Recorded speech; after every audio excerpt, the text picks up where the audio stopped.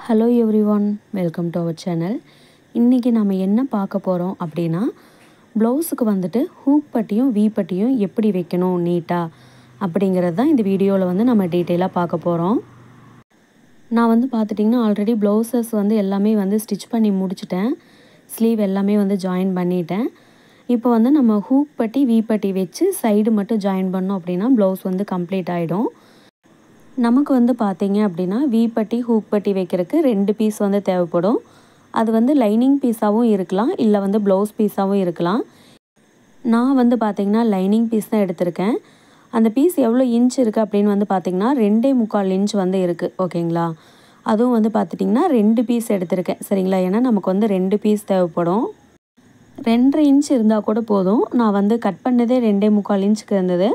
அது அப்படியே வந்து நான் கரெக்ஷன் பண்ணி வச்சிடுறேன். ஃபஸ்ட்டு வந்து பார்த்திங்கன்னா நம்ம வந்து வி பட்டி தான் வந்து தைக்க போகிறோம் சரிங்களா? வி பட்டி வைக்கிறதுக்கு நம்ம என்ன பண்ணோம் அப்படின்னா இந்த லைனிங் பீஸ் இருக்குது இல்லைங்களா? இந்த லைனிங் பீஸ் எடுத்து நீங்கள் வந்துட்டு கீழே வச்சுருங்க. அதாவது ப்ளவுஸ் பீஸ்க்கு கீழே வர மாதிரி வச்சுருங்க. ஓகேங்களா? அதுக்கு மேலே வந்துட்டு நம்ம ப்ளவுஸ் பீஸ் இருக்கிற மாதிரி பார்த்துக்கோங்க ப்ளவுஸ் பீஸும் லைனிங் பீஸும் வந்து ஒரே ஈவனாக இருக்கிற மாதிரி வச்சுக்கோங்க. வச்சதுக்கப்புறம் வந்து பார்த்திங்கன்னா ஒரு ஹாஃப் இன்ச்சில் வந்து நம்ம தையல் போட்டுக்கலாம். சரிங்களா? ஏன்னா நான் ஹாஃப் இன்ச் விட்டுருக்கேன். அதனால் நான் வந்து ஹாஃப் இன்ச்சில் வந்து தையல் போட்டுக்க போகிறேன் நீங்கள் வந்து கால் இன்ச்சு தான் விடுவீங்க அப்படின்னா கால் இன்ச்சில் வந்து தையல் போட்டுக்கோங்க. ஓகேங்களா? யார் யார் எவ்வளோ விடுறோமோ அந்த அளவுக்கு தகுந்த மாதிரி நம்ம வந்து தையல் போட்டுக்கணும். சரிங்களா? அது ஹாஃப் இன்ச்சாகவும் இருக்கலாம் இல்லை வந்து கால் இன்ச்சாகவும் இருக்கலாம். தையல் போட்டு முடிச்சதுக்கப்புறம் நம்ம என்ன பண்ணணும்னா அந்த பீஸ் அப்படியே வந்து உள்ளே திருப்பிக்கணும். திருப்பினீங்க அப்படின்னா நமக்கு வந்து படிமான தையல் போடுற மாதிரி மடங்கும் இல்லைங்களா? அந்த நேர் வந்து கண்டிப்பாக வந்து ஒரு படிமான தையல் போட்டுக்கோங்க. இந்த மாதிரி படிமான தையல் வந்து நீங்கள் போட்டிங்க அப்படின்னா அந்த ப்ளவுஸ் வந்து நம்ம தைச்சு முடிச்சதுக்கப்புறம் நல்லா படிஞ்சு அழகாக இருக்கும். இப்போ பார்த்தீங்கன்னா நான் வந்து படிமான தையல் போட்டு எடுத்துட்டேன். பாருங்கள் நல்லா பதிஞ்சு அழகாக இருக்குது இப்போ வந்து நம்ம என்ன பண்ணணும் அப்படின்னா எண்டில் இருக்குது இல்லைங்களா அந்த பீஸை வந்து உள் சைடு வந்து கொஞ்சமாக மடித்து நம்ம தைக்கணும். இது வந்து ஒரு ஹாஃப் இன்ச்சுக்கு முக்கால் இன்ச்சுக்கு வந்து வச்சுக்கலாம். ஒன் இன்ச்சுக்கு வந்து பீஸ் அதிகமாக விட்டுருந்தீங்கன்னா ஒன் இன்ச்சுக்கு மடிக்கலாம். பீஸ் கம்மியாக இருந்துச்சுன்னா கால் இன்ச் வரைக்கும் வந்து நம்ம மடிச்சுக்கலாம் சரிங்களா? நான் வந்து ரெண்டே முக்கால் இன்ச் வச்சதுனால ஒரு ஹாஃப் இன்ச்சுக்கு மட்டும் மடிச்சுக்கிறேன். பாருங்கள் இன்ச் டேப் கூட வச்சு காட்டியிருக்கேன். ஹாஃப் இன்ச் தான் மடக்கிறேன் சரிங்களா? ஹாஃப் இன்ச் மடக்கி அந்த எண்டுலேயே வந்து ஸ்ட்ரெயிட்டாக ஒரு தையல் வந்து எண்டு வரைக்கும் நம்ம போட்டு எடுத்துக்கணும் சரிங்களா? இது எதுக்காக இந்த மாதிரி எண்டில் தையல் போடுறோம் அப்படின்னா நம்ம ஃபினிஷிங் பண்ணுறப்போ அதோட லுக் வந்து நல்லாயிருக்கும் அதுக்காக வந்து இந்த மாதிரி நம்ம போட்டு தைச்சோம் அப்படின்னா நீட்டாக இருக்கும் சரிங்களா? இப்போ வந்து எண்டு தையல் வந்து நான் போட்டு எடுத்துட்டேன். இந்த டைமில் வந்து எக்ஸஸாக உங்களுக்கு பீஸ் வந்து இருந்தது அப்படின்னா நீங்கள் வந்து சைஸ் பண்ணிக்கலாம் ஓகேங்களா? இப்போ வந்து நான் கொஞ்சமாக வந்து சைஸ் பண்ணிக்கிறேன். ஏன்னா ரொம்ப அதிகமாக இருக்குது நமக்கு தேவையான அளவுக்கு மடித்து தைக்கிறதுக்கு இருந்தால் போதும். ரொம்ப அதிகமாக துணி வந்து உள்ளே வச்சோம் அப்படின்னம்னா ரொம்ப மொத்தமாக இருக்கும். அது அந்த அளவுக்கு நீட்டாக இருக்காது. சரிங்களா? தேவையான அளவுக்கு விட்டோம்னா போதும். இப்போ பார்த்தீங்க அப்படின்னா ஒரு ஹாஃப் இன்ச்சுக்கு மட்டும்தான் நான் விட்டுருக்கேன். சரிங்களா? அதுக்கப்புறம் வந்து அந்த ஆஃப் இன்ச்சை வந்து உள்ளே மடிச்சுக்கணும் சரிங்களா? உள்ளே மடிச்சுட்டு நம்ம எண்டில் தையல் போட்டிருக்கோம் இல்லைங்களா? அந்த பீஸை எடுத்து கரெக்டாக வந்து அந்த படிமான தையல் போட்டிருக்கிற நேர் வச்சுட்டிங்க அப்படின்னா கரெக்டாக இருக்கும். அதுக்கப்புறம் இந்த மாதிரி வச்சுட்டு சென்ட்ரா சரிங்களா? சென்டரில் வந்து தையல் போடுங்க. சென்டரில் வந்து தையல் ஃபுல்லாக எண்டு வரைக்கும் போடுறப்போ அந்த கடைசியாக வரப்போ என்ன பண்ணணும் அப்படின்னா கீழே இருக்கிற பீஸையும் வந்து நம்ம உள்ளே தள்ளி விட்டு நம்ம வந்து ஃபினிஷ் பண்ணிக்கலாம். ஓகேங்களா இப்போ வந்து நான் கீழே வரைக்கும் வந்துட்டேன். இப்போ பாருங்கள் இந்த மாதிரி உள்ளே நல்லா தள்ளி விட்டுருங்க. பீஸ் வந்து வெளியே தெரியக்கூடாது சரிங்களா? தெரிஞ்சதுன்னா அந்த அளவுக்கு ஃபினிஷிங் நல்லா இருக்காது. ஆல்ரெடி நம்ம வந்து மடக்கி வேறு தைச்சிருக்கோம் சரிங்களா? அதனால் வந்துட்டு நல்லாவே நமக்கு உள்ளே மடங்கி போகும். கரெக்டாக ஈவனாக வச்சுட்டு நீங்கள் வந்து கீழே வந்து ஒரு டாக் அடித்து தையல் வந்து கம்ப்ளீட் பண்ணிடுங்க பாருங்கள் இந்த மாதிரி ஒரு ரெண்டு டாக் அடிச்சிங்கன்னா போதும். நீங்கள் எத்தனை தடவை கொக்கி மாட்டி கழட்டினாலும் வந்து அந்த துணி வந்து வெளியே இழுத்துட்டு வராது சரிங்களா? அதுக்காக தான் கீழே வந்து டாக் அடிக்கிறது சென்ட்ரு தையலும் வந்து அதுக்காக கூட தான். இப்போ பார்த்தீங்க அப்படின்னா அந்த நம்ம அந்த வீ பட்டி போடுவோம் இல்லைங்களா? அதுக்கு வந்து எங்கெங்கே போடணும்னு பார்த்தீங்கன்னா கீழே எண்டில் ஒரு தையல் போட்டுக்கோங்க. பட்டி ஜாயின் பண்ணியிருக்க இடத்துல வந்து ஒரு தையல் போடுங்க. அதுக்கப்புறம் சென்ட்ரு டாட் பிடிச்சிருப்போம் இல்லைங்களா? அங்கே ஒரு தையல் போடுங்க. கடைசியாக வந்து அந்த மேலே எண்டில் ஒரு தையல் போடுங்க. இப்போ வந்து நாலு வீ பட்டி நமக்கு வந்துருச்சுங்களா? அஞ்சாவது பட்டி என்ன பண்ணணும் அப்படின்னா பட்டிக்கும் கீழேயும் நம்ம வந்து சென்டராக ஒரு பகுதி இருக்குது இல்லைங்களா? அதை வந்து ஈவனாக வச்சு நீங்கள் வந்து அஞ்சாவது வீ பட்டி போட்டுக்கலாம்.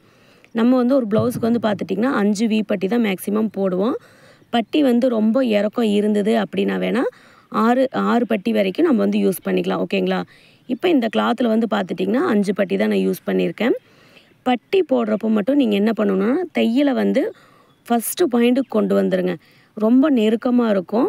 அப்போ வந்து தையல் பார்க்குறக்கு வந்து ரொம்ப நீட்டாக இருக்கும். நம்ம வந்து டாக் அடிச்சுட்டு கசகசன்னு பண்ண தேவையில்லை. சரிங்களா? அந்த ஒன்றா நம்பருக்கு கொண்டு வந்துட்டீங்க அப்படின்னா வர்றப்போவே வர்றப்பவே உங்களுக்கு தையல் வர்றப்பவே வந்து ரொம்ப டைட்டாக தான் வரும். சரிங்களா? ஏன்னா வந்துட்டு நம்ம நார்மலாக ஒன்று ஒன்றையில் வச்சு தைக்கிறத விடவே சின்ன தையல் போட்டோம் அப்படின்னா நமக்கு வந்து பிரிஞ்சும் வராது. ரொம்ப நீட்டாக இருக்கும். தைச்சு முடிச்சதுக்கப்புறம் வந்து பார்க்குறப்ப அதோடய லுக் வந்து அவுட்ஸ்டாண்டிங்காக இருக்கும். அதுக்காக வந்து இந்த மாதிரி சின்னதாக வந்து தையல் போட்டு பாருங்கள் ஆல்மோஸ்ட் வந்து பார்த்திங்கன்னா நான் வந்து நாலாவது ப வி பட்டி வந்து ஜாயின் பண்ணிகிட்ருக்கேன் இப்போ வந்து பார்த்தீங்க அப்படின்னா நீங்கள் ஒரு கடையே வைக்கணும் இல்லை வந்து நல்லா ஃபினிஷிங் பண்ணி கொடுக்கணும் அப்படின்னு நீங்கள் நினச்சிங்கன்னா இந்த மாதிரி சின்ன சின்ன விஷயங்களை வந்து ஃபாலோ பண்ணுங்கள் சரிங்களா? இப்போ வந்து பார்த்தீங்கன்னா அஞ்சாவது பட்டி வந்து நான் போட்டுட்ருக்கேன் இப்போ வந்து கடைசியாக கொண்டு வரப்போ அந்த பட்டிக்கிட்டேருந்து வந்து ஒரு ஒன் இன்ச்சுக்கு கீழே வந்து நீங்கள் வெளியே எடுத்துட்டிங்கன்னா கூட போதும். அந்த இடத்துல நீங்கள் டாக் போடணும் அப்படிங்கிறது இல்லை. ஏன்னா தையல் வந்து ரொம்ப குட்டியாக இருக்கிறதுனால நமக்கு பிரிஞ்சே வராது சரிங்களா? இப்போ பாருங்கள் நான் தைச்சு முடிச்சிட்டேன். பாருங்கள் அந்த தையல் வந்து எவ்வளோ நீட்டாக இருக்குது அப்படின்னு.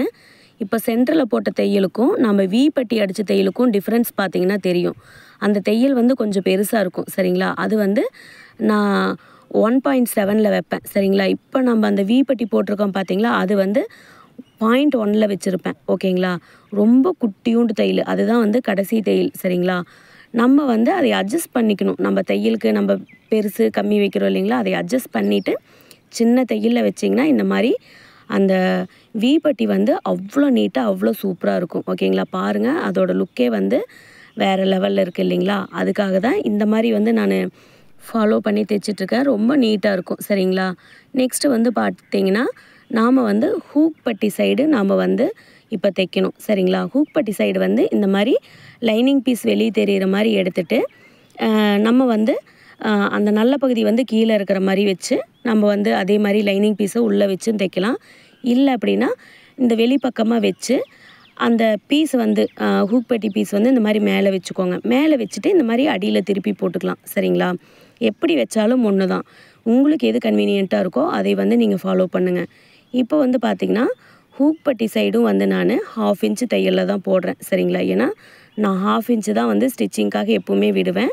அதனால் நான் வந்து ஹாஃப் இன்ச்சில் வந்து நான் தையல் போட்டுக்கிறேன் சரிங்களா? கரெக்டாக வந்து க்ராஸாக இருக்கும். நமக்கு அந்த பட்டி ஜாயின் பண்ணியிருக்கிற நேர் வந்து பார்த்திங்கன்னா கொஞ்சம் க்ராஸாக இருக்கும். அதை வந்து நேர் பண்ணி எடுத்துட்டு அதுக்கப்புறம் வந்து நீங்கள் தையல் போடுங்க சரிங்களா? இப்போ பார்த்தீங்க அப்படின்னா நான் வந்து தையல் போட்டு எடுத்துட்டேன். தையல் போட்டு எடுத்ததுக்கப்புறம் நம்ம என்ன பண்ணணும்னா எஸ் யூஸ்வல் நம்ம வந்து இந்த பக்கம் திருப்பி படிமான தையல் வந்து கம்பல்சரி போடணும். சரிங்களா? படிமான தையல் எங்கெங்கே போடணுமோ எல்லா இடத்துலையும் கண்டிப்பாக படிமான தையல் போடுங்க. ஏன்னா ஒரு ப்ளவுஸை வந்து நல்ல முறையில் நம்ம ஃபினிஷிங் பண்ணணும் அப்படின்னா இந்த சின்ன சின்ன தையல் போடுறதுக்கெல்லாம் நம்ம வந்து சலுப்பு பட்டுட்டு இருக்கக்கூடாது. சரிங்களா?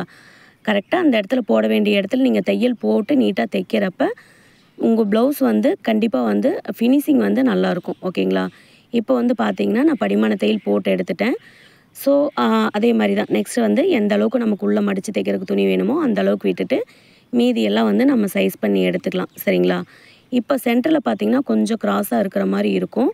அதனால் நமக்கு எந்த பிரச்சனையும் இல்லை. சரிங்களா? அது இருந்துட்டு போது நம்ம தைக்கிறப்போ வந்து கரெக்ட் பண்ணி தைச்சிக்கலாம். சரிங்களா? அது வந்து இந்த மாதிரி வருதே அப்படின்னு சொல்லிவிட்டு நீங்கள் வந்து அதை ஒரே பண்ணிகிட்டு இருக்க வேண்டாம். இப்போ பார்த்தீங்கன்னா இந்த மாதிரி உள் சைடு வந்து மடித்து விட்டுருங்க. சரிங்களா? உள் சைடு மடித்து விட்டுட்டு அந்த எண்டில் இருக்குது இல்லைங்களா எண்டு பகுதி அதை வந்து நம்ம ஒரு ஹாஃப் இன்ச்சில் வந்து தையல் போட்டோம் இல்லைங்களா அது வரைக்கும் வந்து மடிச்சுக்கோங்க. உள்ளே வந்து நமக்கு அந்த ஹாஃப் இன்ச் தெரியும் சரிங்களா? அந்த பிசுறு பகுதி இருக்குது இல்லைங்களா அது வரைக்கும் மடிச்சுக்கோங்க. அது வரைக்கும் வந்து ஸ்ட்ரெயிட்டாக மடித்து எடுத்ததுக்கப்புறம் என்ன பண்ணணும் அப்படின்னா இன்னொரு தடவை அதை வந்து நம்ம அப்படியே உள் சைடு மடக்கணும் அப்படின்னம்னா நம்ம கரெக்டாக இருக்கும் சரிங்களா? அது வந்து அந்த ஹாஃப் இன்ச் படிமான தையல் போட்டிருக்கோம் இல்லைங்களா அது வரைக்கும் மடிக்கணும். ஃபஸ்ட்டு வந்து பார்த்திங்கன்னா அந்த ஹாஃப் இன்ச் தையல் போட்டிருக்கிற வரைக்கும். அதுக்கப்புறம் வந்து பார்த்திங்கன்னா படிமான தையல் போட்ட வரைக்கும் மடிச்சுட்டு அதை அப்படியே வந்து என்ன பண்ணணும்? உள் சைடு திருப்பி மடிச்சிடணும். சரிங்களா?